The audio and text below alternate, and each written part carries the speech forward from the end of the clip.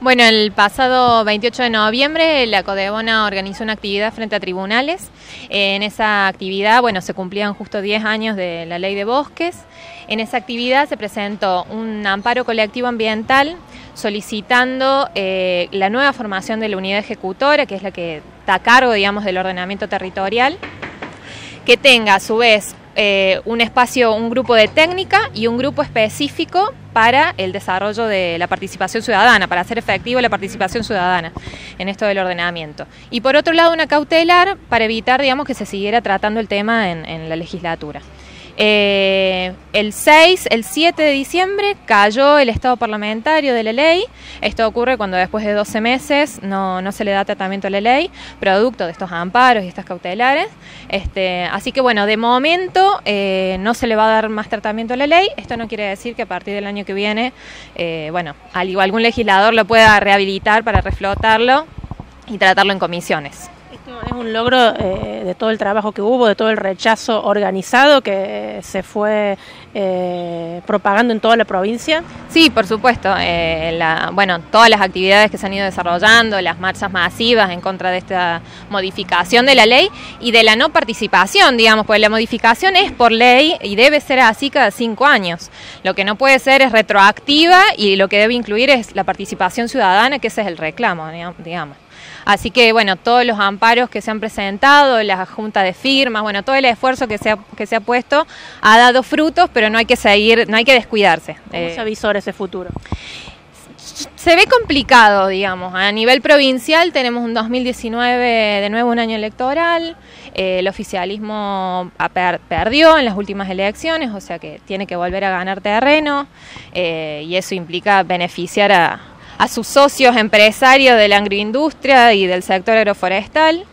Y a nivel nacional, la verdad es que, bueno, la última hace unos meses, en noviembre también, en la cumbre eh, mundial por el cambio climático, internacional por el cambio climático, el ministro Bergman dijo que la ley de bosques era una ley basada en ideas irreales y sin mecanismos propios de, para su aplicación, lo cual es una brutalidad. Este, no es una ley mal desarrollada, es una ley que emana de la Constitución Nacional.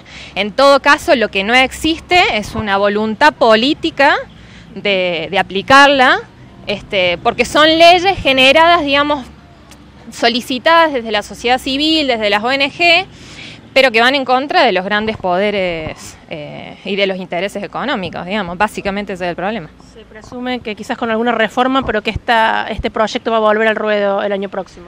Seguramente eh, lo que se podrán hacer es a pequeñas modificaciones y sí vamos a seguir insistiendo en el tema de la participación ciudadana, en que la unidad ejecutora se forme con una comisión técnica, eh, bueno, que se cumpla la ley eh, tal como lo, como lo especifica la, ley de presupuestos mínimos. Y la preocupación era que estas modificaciones no protegían lo que queda de bosque, al contrario. No, al contrario, justamente, es más, es una aberración, pero querían pasar digamos, eh, en vez de que la Secretaría de Ambiente se hiciera cargo de esto, y lo querían pasar a ciencia y al Ministerio de Ciencia y Tecnología, eh, eso era una de las modificaciones, permite la minería dentro de, áreas de bosque nativo, y iba en retroceso porque quería avanzar sobre áreas amarillas, este, en vez de ampliar, digamos, la zona de protección, iba en contra. Y otro tema es que, que, bueno, que no, la participación ciudadana sigue sin existir y no hay un mapa este, real de con qué contamos, de los recursos naturales con los que contamos en, la provincia. Al menos, digamos, en principio se supone que lo han hecho, pero digamos, no es público. Solo al, momento se cuenta con un JPG, que es una imagen estanca que no sirve que no sirve para nada, digamos. Se enciende la luz de, alarma respecto a lo que podría ser una futura explotación minera incluso en la región. Sí, eh, esta modificación de esta, este proyecto de ley eh, incluye que el desarrollo de minería este, dentro de espacios de bosque nativo y bueno, con la quita las retenciones a la minería, los dichos del ministro con respecto también a la ley de glaciares, bueno, da a entender que, que, va a ser año duro y de seguir luchando y de estar en la calle y bueno, y seguir pidiendo por, por participación y por la defensa de los recursos naturales.